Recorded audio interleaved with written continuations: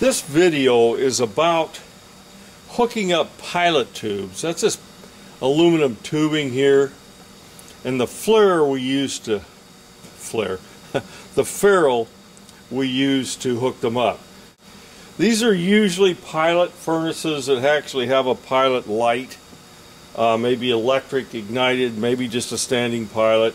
Here's a standard old gas valve that you would put this into. Uh, but let's take a closer look at this fitting. Okay, this fitting is you know similar to any type of ferrule except the ferrule is actually mounted. It's actually part of this fitting. That's this this part right here. And what happens you know a ferrule and I've got another video on ferrule I'll refer to it but uh, the ferrule actually crimps onto the tubing. See, when my tubing's in like that, the ferrule actually crimps down on the tubing.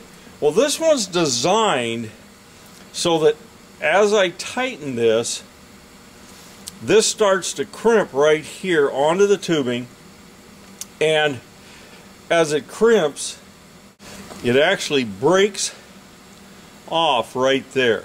So that's a real thin uh, thickness there. It just breaks it off and then you finish tightening it up.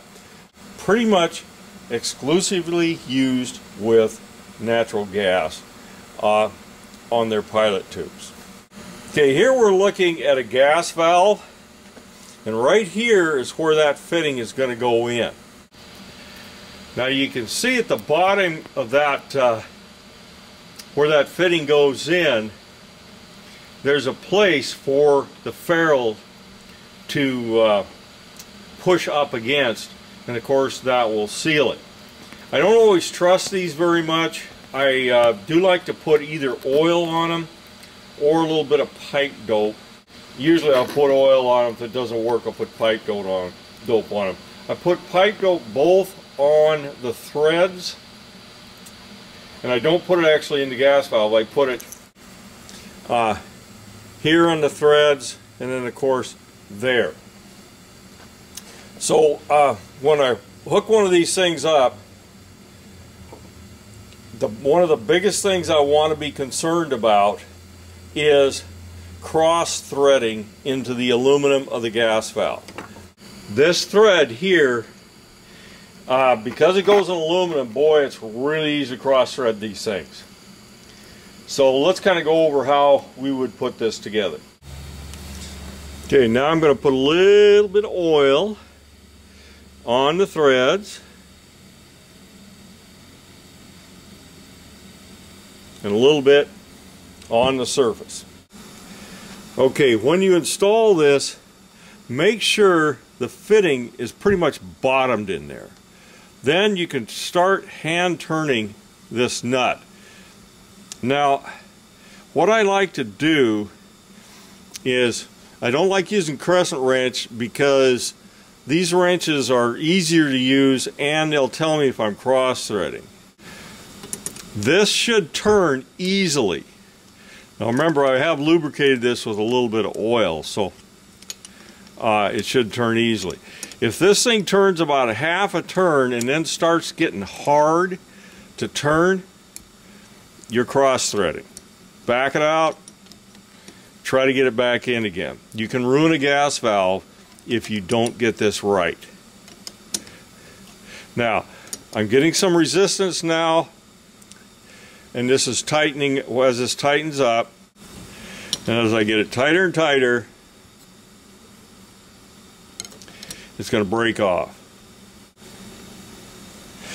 And it's broken off, and it's in tight. Okay, that's the easy way to do it when it's all out there in front of God and everybody. Uh, so you got plenty of room around it. A lot tougher when it's in a piece of equipment. But it's just a question of workmanship and care. Be sure that thing is tight. Now, a lot of times you're just remounting one of these things where it's already on there, and then you've taken it off and taken the pilot out or something And then you're putting it back together. Try not to bend this tube when you're taking it out so it goes back the same way as it came in.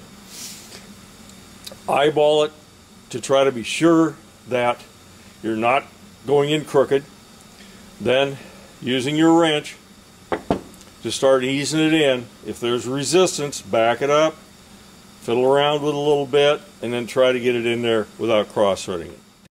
And the last thing you do is get the pilot going and then check for leaks at every fitting that you uh, moved with electronic or with soap bubbles.